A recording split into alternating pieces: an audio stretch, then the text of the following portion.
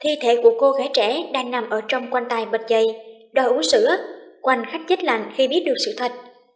Đang cử hành tang lễ, không khí đau buồn bao trùm, nhưng thi thể đột nhiên bật dày xin uống nước, khiến cho tất cả mọi người đều hoảng sợ. Mới đây, câu chuyện về một cô gái 24 tuổi ở Ấn Độ đã qua đời, nhưng đột nhiên sống lại khi đang cử hành tang lễ, đã khiến cho nhiều người hoang mang.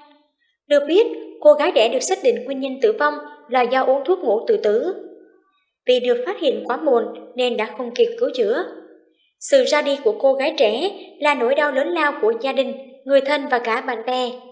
Tàn lễ của cô đã nhanh chóng được tổ chức và rất nhiều người đến chia buồn đưa thi thể của cô an nghỉ nơi nghĩa trang. Khi thi thể được đưa đến để làm lễ tại nhà thờ, thì bỗng nhiên cô gái bật dậy xin uống nước và sữa, khiến cho tất cả mọi người đều hoảng sợ. Ai cũng nghĩ rằng cô gái từ cõi chết sống lại quả là một kỳ tích. Tuy nhiên, khi tỉnh dậy, cô gái này mới thừa nhận rằng cô không hề chết thật sự. Để thử nghiệm phản ứng của mọi người khi chứng kiến cô qua đời, nên cô đã giả vờ uống thuốc ngủ tự tử và nhờ sự giúp đỡ của bác sĩ.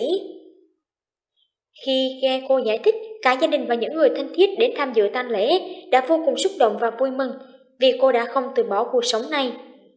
Suốt quãng thời gian nằm trong quan tài, dù nhắm mắt, cô vẫn có thể cảm nhận được sự đau đớn của gia đình và những người thân thiết. Cô thử nghiệm chết lâm sàn để cho các bạn trẻ đang có nhìn tự tử nhận thấy ý nghĩa của cuộc sống. Khi nằm trong quan tài rồi, con người ta mới cảm thấy còn nhiều điều nuối tiếc, mới nhận ra cuộc sống ý nghĩa như thế nào. Vì thế, bất cứ ai trong hoàn cảnh nào cũng không nên dễ dàng từ bỏ mạng sống của mình.